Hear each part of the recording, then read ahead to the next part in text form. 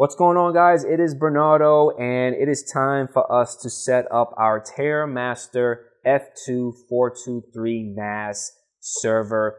Super excited. You just saw a quick unboxing on this, uh, you know, this guy right here. There's a lot of items inside the box. They gave us an ethernet cable, uh, power adapter, and a power cable, which I'm going to hook this guy up real quick. And uh, they also gave us screws to lock down the hard drives I inserted two 250 gig SATA drives on this for now because I want to set it up quickly. But I will be upgrading these two hard drives to maybe a solid state drive, four terabytes, five terabytes. I found a great deal on New Newegg, so I'm definitely going to order those too so I could get uh, big storage to start creating virtual machines and running on this particular uh, NAS server. So right now, I'm going to hook it up Awesome. I'm gonna plug it into the power surge right here. And for the Ethernet, there's two ports, which is pretty awesome. And I'm going to insert it on the top one. And it looks like it already is booting up automatically, which is pretty weird. You would think you have to press the power button to boot it up, or maybe because I had it like this, the power button is quite sensitive. Looks like it's beeping. So that's booting up. I'm going to insert it to my Cisco switch that I have over there. And I'm going to scan my network to see if it received an IP address so I can start configuring it. All right, so we got our Ethernet cable right here. I'm going to plug it into my Cisco SG200-08 uh, gigabit smart switch. And I'm actually going to put it at the in port, the last port. Awesome.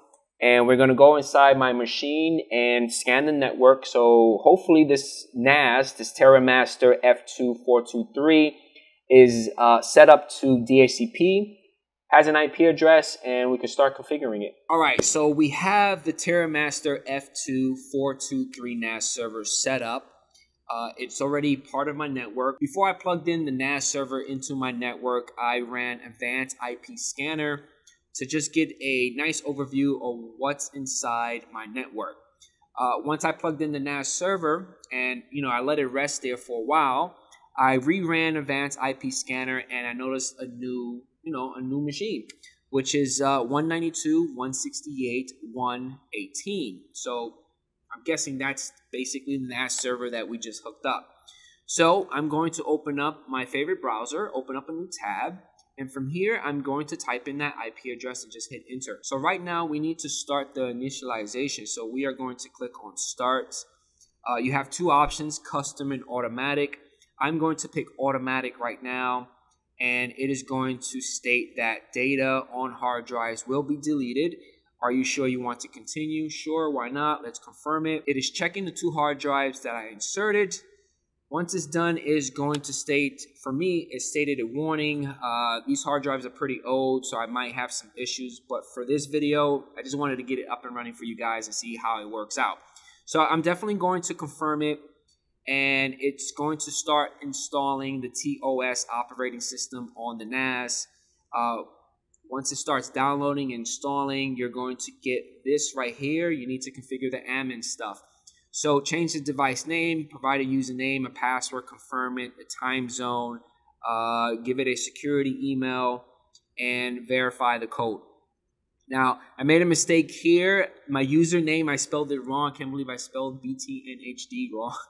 but I fixed it later on as well as I changed the IP address to something else. Once you're done with your admin settings, just click on next. You're going to get a warning. Again, another warning that everything within the hard drives are going to be deleted, so just confirm it. It's going to format the RAID and once it's done, it gives you a nice little overview. Make sure you copy this information, save it somewhere. There's two ways to access the NAS server. You could use the IP address or you could use the full qualified domain. For this video, I access it with the IP address. So just click on next. It takes you to the login portal. So just enter your username and password and just log in. And I love the interface. I like how it feels and everything is pretty cool. So we're going to close that we're going to go inside control panel and within control panel, we are going to go inside volume And the first thing that you're going to see that it is synchronizing. This part right here took forever. I would say maybe two or three hours. Once it's completed, you're going to get this confirmation dialog box. So just click on confirm and close it. Now, with this video, I want to configure iSCSI Target. It's not built in within this NAS server, so we actually have to install it. So we're going to click on Applications, and we're going to search for iSCSI, and we're going to pick on iSCSI Target. Now, this particular utility is from TerraMaster, so hopefully it's trustworthy, and we're going to select it, and we're going to click on Install. It's going to start installing. Once it's completed, uh, you could close that and on the desktop of your NAS server, you're going to see the iSCSI target icon. So just click on that. Now I did this a little backwards, and the reason why is because I actually created my LUN first, then did my target. Uh, because if you create your target first, it actually creates the LUN for you. But for this video, again, I went a little backwards. I apologize for that. So let's click on LUN. Let's click on create. And on the LUN, just click on the text box and it's going to auto populate something for you uh, you are able to basically change the storage allocation. I left it as the default and make sure you give it a capacity. Now, I gave it a capacity of 200 gigs and we are able to just basically click on next here. Get a nice little summary and then click apply. Your first LUN is configured. How easy is that? So let's go back inside Target and let's click on create.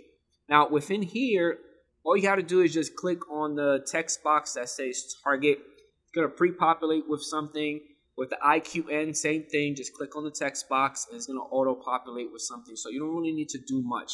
If you want to do CHAP certification or CHAP authentication, do it. For this video, I didn't bother, so I just click on next here. Uh, it gives you a nice little summary of all the confirmed settings that you just did on the previous, uh, you know, section. So from here, I'm just going to continue and click on next. This is where it wants you to create your iSCSI target. Now I'm going to hit no because we already created it together. So click on apply.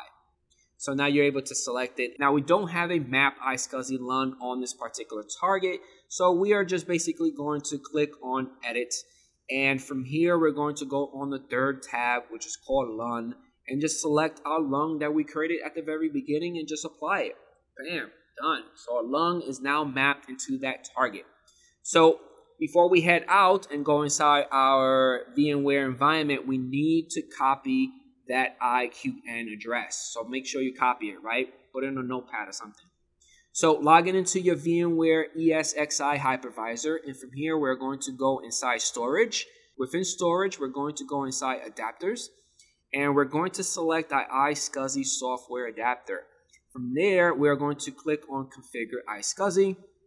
And there's two sections that we need to focus. The first part is the static targets. So click on add static target, then click to add a name and just paste that IQN address in there. The next thing that we need to do is click to add an address and then enter the IP address of your NAS server. The next step that we need to do is click on add dynamic target. So once you click on that, we need to click on click to add an address and just provide your IP address and then click on save configuration. Now the process takes a while behind the scenes, so hopefully everything should work out within your environment. You are able to go inside the devices tab and you should see a new entry for your NAS server. So select it and then click on new data store. Provide a name to your data store. Click next here. I'm going to leave the partitioning option as the default, but again, you are able to change it. It's really up to you how you want to configure it. You are able to partition it. Again, it's up to you. Click next here, a nice little summary, and finish. It's going to give you a nice little warning. It's going to reformat it and erase all that content within that iSCSI LUN and hit yes. And that's it, you're done. Awesome. We have our new data store within our environment. So now I'm able to create virtual machines and point those virtual machines into this data store. So that's it. Hopefully you guys enjoyed this video and I catch you guys on the next one. Peace out.